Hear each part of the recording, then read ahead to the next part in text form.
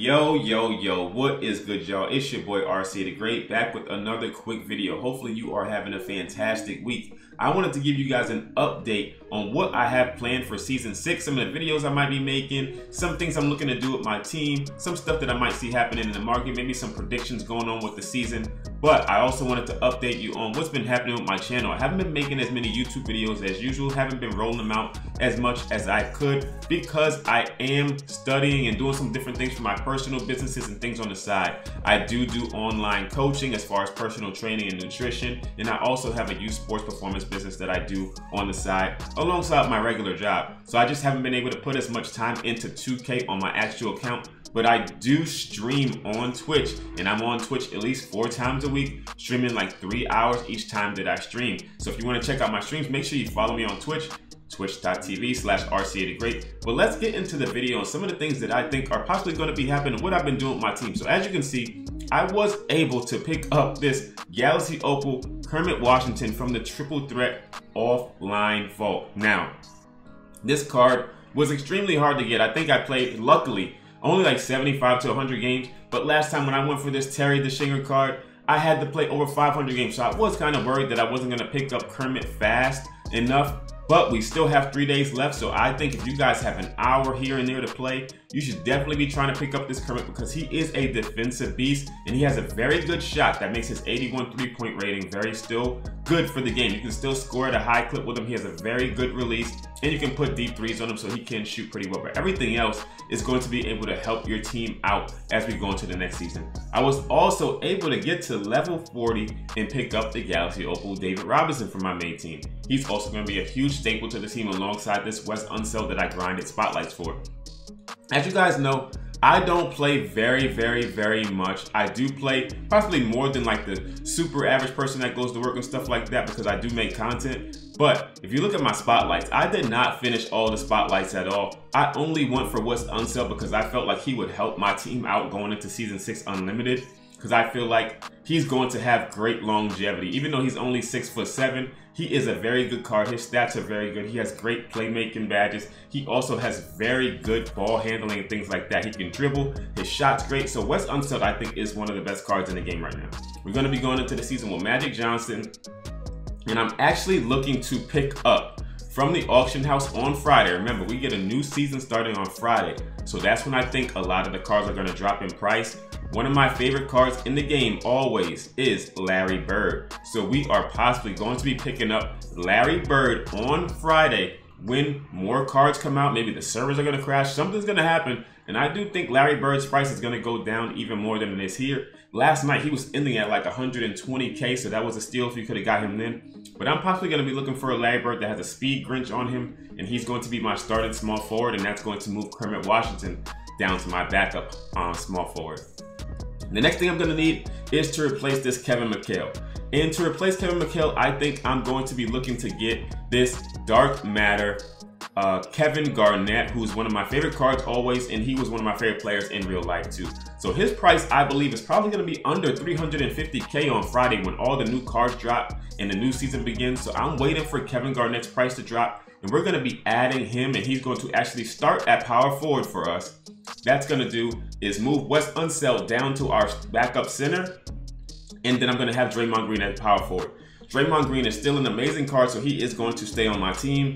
And him and Wes Unseld are going to run like they did before I was able to get Kermit and David Robinson. The last thing I'm going to need to update my team is a backup point guard. Now, we have, not only are we going to get a new season reward, we're going to get new cards, but we're most likely going to be getting more Galaxy Opal token market rewards. I'm going to be able to finally get one of these token rewards. I've never reached the Galaxy Opal market before. So this is the first time that I'm able to get a Galaxy Opal token market reward. I'm going to be able to redeem one more pink diamond. It could possibly be a good pink diamond. We never know.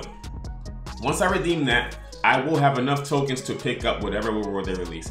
I am truly hoping is a good point guard or a good shooting guard that I can immediately add to my team because I do not want to add any of the cards that are currently here right now. I could add somebody like Moses Malone and not buy Kevin Garnett, but honestly, Kevin Garnett is better and I like him better, so I would rather just spend the MT on Kevin Garnett. So I'm truly hoping we get a point guard, shooting guard, or small forward shooting guard that we can use out of this market and I can add him to my team and that would actually help me out for the unlimited season. As far as the season reward and things like that, I'm truly hoping we get somebody like maybe a Carmelo Anthony, maybe a Rudy Gay, Kareem Abdul-Jabbar. We're also gonna have a new unlimited reward, as you guys know. We're gonna have a new spotlight challenges all coming out. We're also going to have new vault Everything is going to be new on Friday. So if you're looking to upgrade your team, I do not recommend buying too many things out of the auction house this week. Try to hold off until Friday before making big purchases because a lot of these cards are going to go down in value. They're not going to be giving you XP anymore. Nothing's going to happen with these cards besides they're going to lose value unless they are lock-ins. So looking at some of these cards, you know we have the Idol set. Idols 2 is going to be finishing up very, very soon. We have one more player, or is it two more players? Two more players, and then we get the lock-in for that. But if you remember last time, Chris Webber was the lock-in, and he actually ended up being worse than Anthony Davis. So just be careful if you're locking in these sets as well, because these cards are still going to end up losing value. Unless you really, really like the card and they're going to help you out, I do not recommend locking in unless, like I said, they're amazing or they're really going to help your team or you actually like them in real life. Like if it was a Rondo that I had to lock in for, you guys know I like Rondo. I'm probably gonna lock in for him just because I like Rondo. But other than that, I try not to lock too many sets. We are gonna get this Kevin Garnett. We're probably gonna sell him back before his value goes down, or his value might go up depending on who the locking is. But this is gonna be the only card that I'll probably have from this Idols, Idols 2 set. Now looking at the heroes, this was a very big debate for me if I wanted to lock in these coaches or not. These coaches are actually very, very good. I cannot lie to you, especially Phil Jackson. This Phil Jackson is amazing. You get a plus 10 three-point shot. That pretty much makes any card on the court able to be able to hit from three. But we are also getting a ton of dark matter cards coming out soon. So in my mind, all of my cards are going to be pretty good anyway, pretty juiced. I don't have trouble winning very much. So I'm not gonna mind using the cards I already have because I don't really need those boosts. So I'd rather have the MT. I'm still gonna be able to win games. I don't need every card to have a 99-3. I think they do say it might go over 99, like you can have 106 or 108 three-point or whatever. That's still fine. I'm able to beat people with budget cards now, and they have, you know, Dark Matters or Galaxy Opals. So if I have Galaxy Opals, Pink Diamonds, and Dark Matters, I'm pretty sure I can beat somebody that has plus 10 stats. That's how I'm looking at it. So that's why I did not lock in this set. I did not want to spend that much MT. I feel like I'm going to be fine. But as far as auctions go, I think once these super packs are gone, the super packs that are in here right now, we're going to have a couple more days left of these, two days. When these go away, I do think that the prices are going to shoot up for those heroes for a little bit, maybe like a week or two, because they're no longer going to be a high supply of them. Once that supply drops, there's no more in packs, they're going to shoot up in price for a little bit. But once people start, you know, getting more dark matter cards, getting more Galaxy Opals, they're not going to want those lock-ins very much. So we could see those card prices start going downwards. We'll revisit this as I see what happens, but that's my prediction for now. Another thing I wanted to talk to you guys about is badges, man. Badges are starting to lose value. As we see more cards come out, already having quick first step, which used to be a badge that went for a ton. You can see it's only going for 600 for the silver. This badge used to go for so much. But since badges are coming out or cards are coming out with Hall of Fame quick first step left and right, you might want to start selling a lot of these. These are not going to be valuable at all. But there are some badges that are still very, very valuable. I think my guy Hoove made a video with Floki and it can really take you through the auction house and how to make MT on that. Definitely go check out Hoove's video. But I will tell you, if you have a blinders badge, let's go check out the blinders badge. And I do think that this badge is one of the ones that's in the realm of clamps and how uh, deep threes was early on in the season. So this blinders badge is a, a, badge that people are really seeking out because not many cards come with blinders and especially Hall of Fame blinders, things like that. So you want to rack up on blinders badges if you can, and then you'll be able to sell those back for a lot of MT until cards start coming out with blinders on them, which can be just around the corner when we start getting GOAT cards towards the end of the year. So blinders is definitely gonna be your go-to. It's probably gonna cost like 25K or something to get a card badged out with blinders. As you can see, the gold goes for 15K or more. So definitely, if you have these badges, sell those and you can make a pretty good amount of MT from them. Let me see if I can snipe one real quick while we're on video. Probably not. But if I can find one for under like 8K MT, I will definitely buy it and then sell it back see if I can make some MT up for that. So we got 8.5 was the lowest. So yeah, all three of those, you're gonna be paying like 24K, 30K to bash out your car with blinders. So this is one of the ones that you definitely wanna start holding on to if you have it.